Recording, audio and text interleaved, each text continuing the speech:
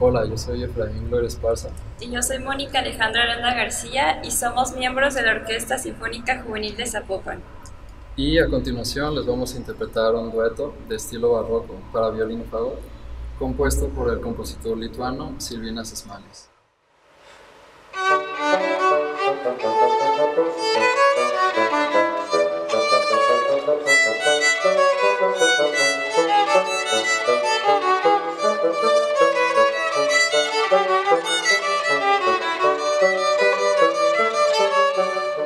Música